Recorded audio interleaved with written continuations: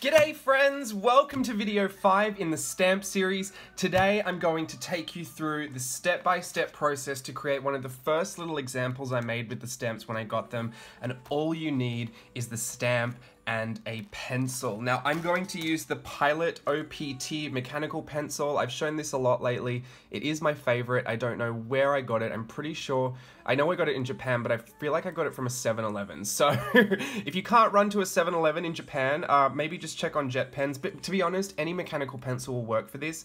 I like using mechanical pencil because I can get a really, really fine, delicate line. And when I'm doing a lot of the line work in this illustration today, I do need that. And I don't want to have to keep going back and sharpening, so I like mechanical pencils for that. We're going to use the Unbothered set, and today we are going to use this little lady right here. So, let me just grab my paper.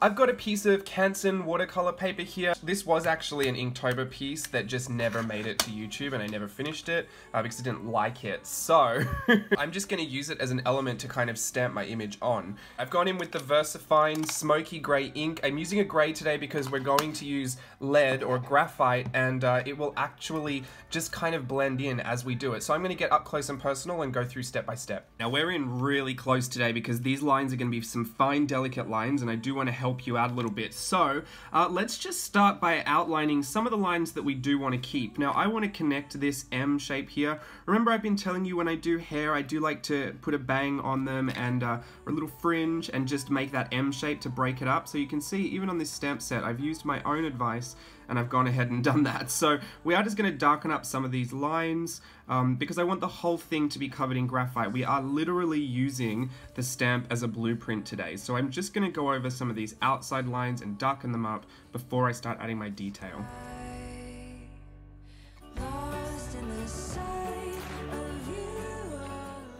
Alright, when I'm darkening in this jawline here, I want to bring this up just a tiny bit towards the ear. I don't want to connect it to the hairline, but I do want to cut off some of that ear a little bit.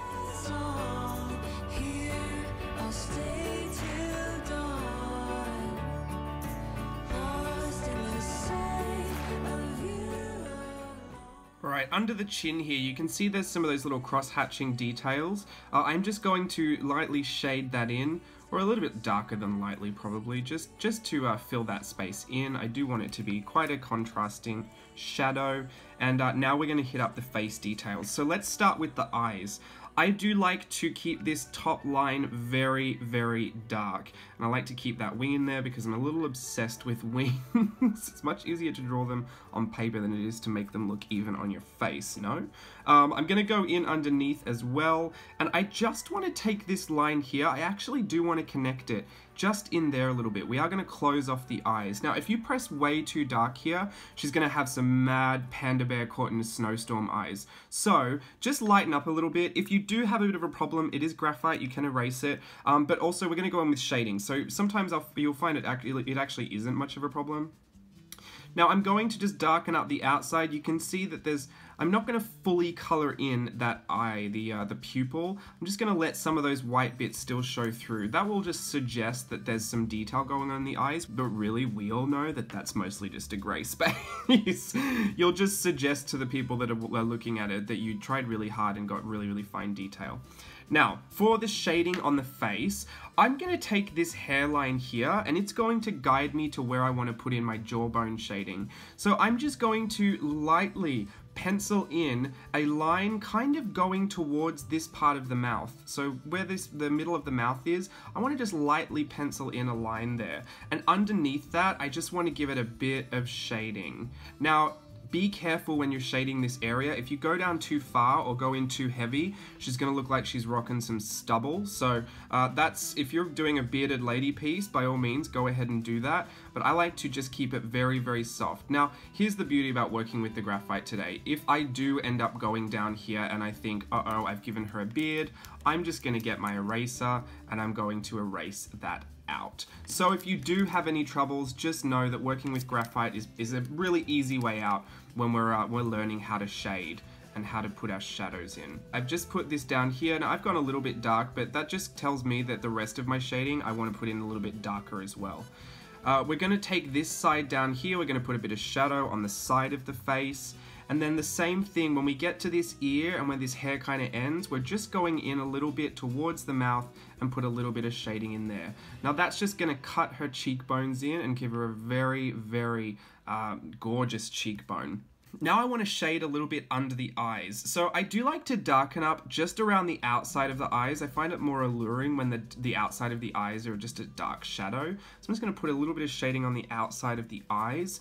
Underneath, I kind of want to leave a little bit of a gap between the bottom eye line and where I'm going to put, put a little bit of shading. You really don't need to go hard. You just need to lightly feather some strokes underneath there and that's just going to give her a bottom eyelid or like the um, the socket, the you know that the line underneath your eye? I couldn't for the life of me figure out what it's called today. Let's go into the nose. Now, I've talked about shading uh, features before and changing these features up, but I'm gonna give her quite a small nose. That's why the, the mechanical pencil is great for this.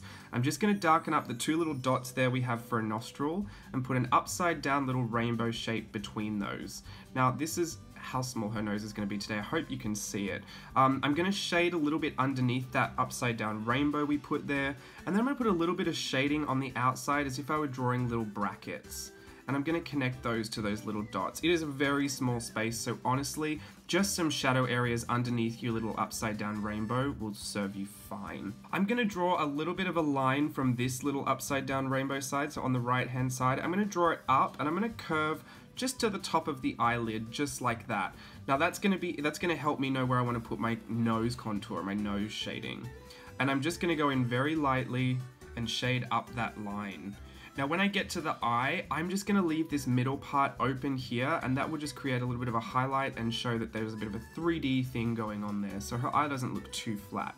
Now if you were going to go dark in any of these areas, I would suggest going a little bit darker towards the eye not going dark down the nose, but maybe going a little bit dark underneath the nose. For this eye over here, we want to do the same kind of effect where we leave a little bit of white space, but we do shade just towards that nose. We don't need to go back down that nose line, but I do just want to put a little bit of shading in there. So you can see her face is already starting to get a little bit of dimension. Now if you really want to snatch that nose out, just put a little bit of shading back up this way, and she'll look like she's got a pinched little nose going on there. The lips, I just want to outline them. She's going to have some full-on glam Kylie Jenner lips today, and uh, we're kind of outlining them a little bit.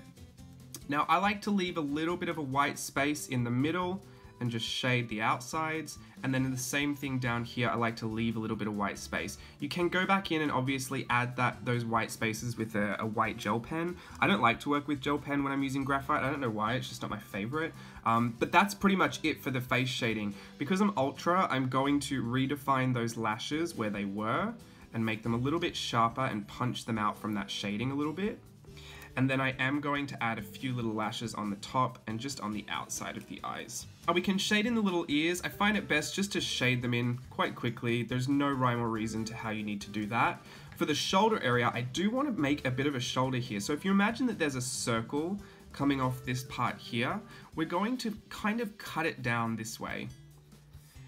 And then we're going to pull this line back in and that will just start to look like where her shoulder, where her arm might be. Now I've made it a little bit big, so I'm actually going to shade it in a little bit. And let's take some of the shading up that neck, and we're going to leave the middle part of the neck quite plain and uh, really open and white, and that will just create, again, some more dimension, making your objects look a little bit more 3D than, than we know that they are.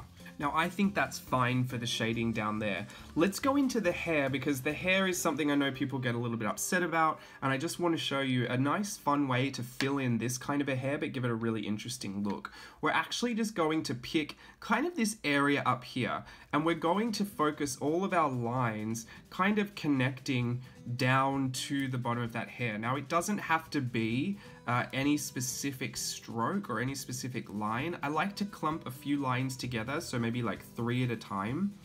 Um, because I think it's a little more interesting. And I'll just put a bunch of lines coming off. Now, whatever lines we don't have left, that's where I want to take the lines somewhere else. So I'm going to put them just the same thing that we were doing, just adding in lines, but We've got the ones coming down to the bottom of the hair, now we want to draw some off those. Depending on how you do this, it might look like your hair's kind of got a finger wave going on or a little bit of a curly texture, but again, this is not any kind of uh, realism that we're doing today. This is simply a fun technique for you to try if you are if you're looking to change some stuff up.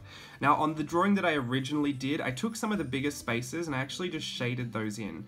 So just filled some of those areas, nothing too crazy, but I did just want to I did want to bring some uh, some interesting shading up into the hair as well. So wherever you can see a line that's kind of thicker than the rest or a negative space, just uh, take your pencil in there and shade it a little bit. It kind of has this stained glass effect almost.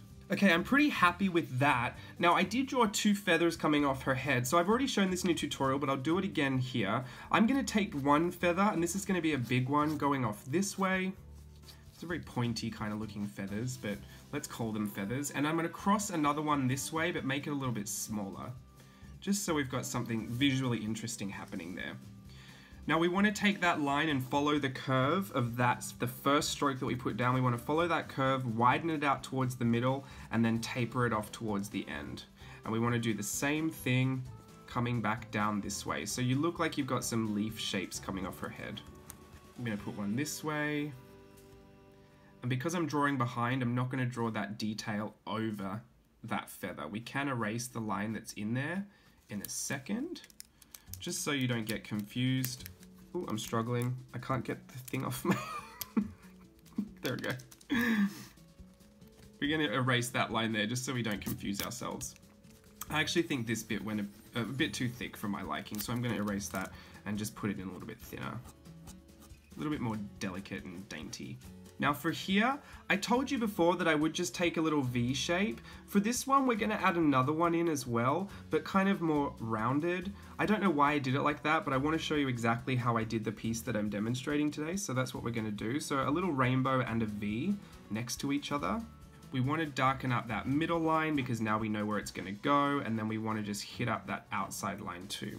For this feather underneath here, I just want to put that little rainbow shape and then connect them in darken up the lines. Now we can see easier how they cross. I did not put this detail in the original illustration, but I do want to show you today, so let me just get rid of some of these lines that are distracting me. Alright, it looks like I've put just a little bit of a, I don't know, some line work in those, so let's just add some lines there. I want to show you that just adding simple strokes can give an interesting effect, especially if you fade them off down towards the bottom or like towards the end um, making them thinner or making them thicker.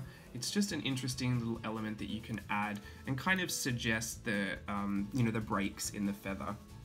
And I do want this to be a little bit more punched out because I like how they taper off into this really fine point. So I'll just show you quickly, if you found you've lost any of your highlights, you can use a, a, white Uniball Signo to go back in and pull them out a little bit, especially in the eye area here. If you really want to put those catch lights back in and pull uh, pull some focus towards the eyes, you can just go in with the Uniball Signo.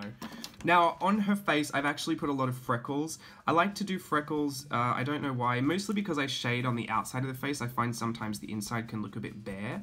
I will just put freckles in, and I, they're just various sizes of circles and dots. So if you're really into pointillism, this will be right up your alley. Freckles is one of those things that I think people sometimes forget about, and uh, I think it's such a beautiful feature.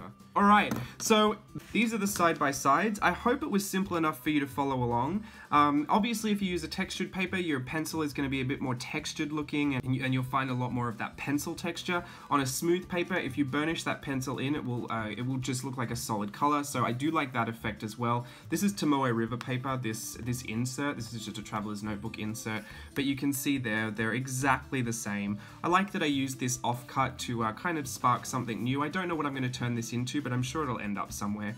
Um, and that's just it for today. It can be as simple as that. All you need is a mechanical pencil and a stamp, and I hope that was helpful for you to uh, kickstart your imagination and have a think about where you could take some of these techniques and how you could apply them to some of your own work. So I'm going to show you a close-up on this. I don't have many examples, I just have these two, but I'll close them up anyway. And until next time, thanks for watching. Bye!